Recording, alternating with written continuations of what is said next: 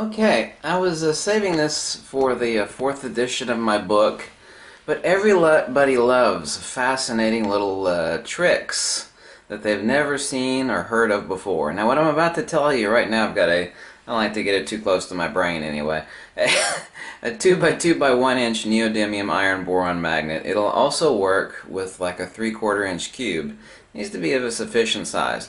What I'm about to tell you seems really, really crazy, but it's actually extremely logical.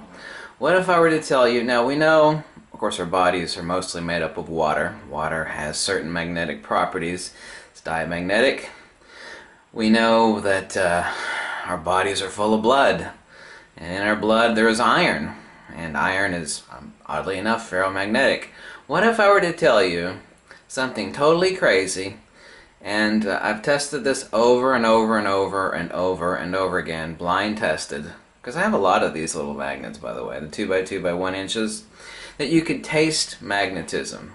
In other words, you're able to taste without actually touching or licking the magnet. I mean, you don't actually have to make physical contact with the magnet, but you're actually able to determine by getting the magnet very, very close to your tongue which side or which pole you have very, very close to your tongue.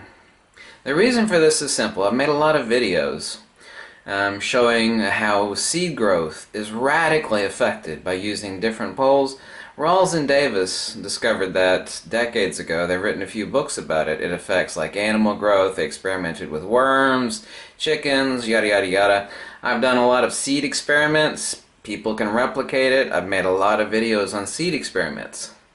The reason for that is there's a phase shift on a magnet at a ratio of 1 to phi one over the North Pole, so we have a rarefaction on the North Pole, and we have compression on the South Pole at a rate of phi.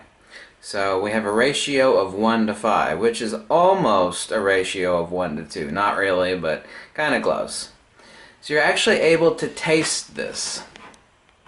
You're not actually tasting anything. What you do is you stick your tongue out, okay? This sounds crazy, but it's perfectly logical and this does work. But first, you're going to have to identify the difference. So first, you're going to have to also, while you do this, hold your nose so you're not actually breathing on your tongue while you have it sticking out. Now, I'm about to make myself look like a fool, but this is an experiment that I've already done a bazillion times and I'm writing about in the fourth edition of my free book, Uncovering the Missing Secrets of Magnetism, that yes, you could actually taste magnetism without actually touching or tasting the magnet. I don't recommend anybody licking a magnet. For obvious reasons. They're usually chrome plated or nickel plated, so I don't want you actually tasting physically something. Just like that. Very, very close to your tongue. Then flip it over. You'll recognize a difference. Okay? Now the closest thing I could actually compare this to is that the North Pole tastes very, very mildly. And by taste, I mean relative. We're talking about fields here. I'm not actually making physical contact with my tongue. The North Pole tastes very, very mildly as if you were to take a an old penny. It's, it's usually children have done this. It's like stick a penny on your tongue. It's like ah, has that nasty sort of alkaline taste to it. And the South Pole tastes like, remember, you have to hold your nose so you don't breathe out and actually influence. While you actually have your tongue sticking out and you're placing the magnet, hold your breath, okay, so you're not actually blowing air on your tongue and affecting the results. The South Pole tastes kind of like you just stepped outside and you stuck your tongue out in the slightly cool air. Except with a variation. It's really hard to explain. The North Pole is kind of easy to explain, like a, sticking a penny in your mouth. It's like, ah. You know, anybody ever licked a copper penny? It's not like that, but it is like that except much, much more sort of mild.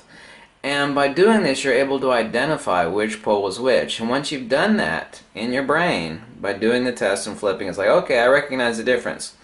If someone blindfolds you and hands you a powerful magnet, it needs to be a powerful magnet, not a little bitty magnet, but a powerful magnet you will be able to identify, and we gotta hold your nose so you're not breathing onto your tongue. You will be able to identify which pole of the magnet is being placed and run across your tongue. Not literally touching it, but very, very, very close. As close as you can get without touching, okay? Not pseudoscience, it's a fact, you know? Human body, blood, iron, water. The entire universe is governed by two things force and motion, inertia and acceleration. It's governed by magnetism. 100% of the visible universe. And the inner atomic volume of every atom is magnetism only. Actually, it's magnetodielectricity, but the volume of every atom is magnetism. The air in the balloon, if you will, of the entire visible universe, from atomic, from macro to micro, is magnetism, the big M. Okay? So that is a super neat trick that you can teach yourself how to do. And no one else has ever talked about this in the world before. Ever. Ever, ever, ever. And it's the first video like it, and I guarantee you that it works. Absolutely, it does work. Okay? Thanks for watching. If you like this super awesome trick, you could always leave a donation in the link below. Or drop a buck. Just like it. Try it out for yourself, okay? But don't physically lick the magnet because it is chrome plated. And chromium is not good for you. Don't actually physically lick the magnet. Okay? Bye.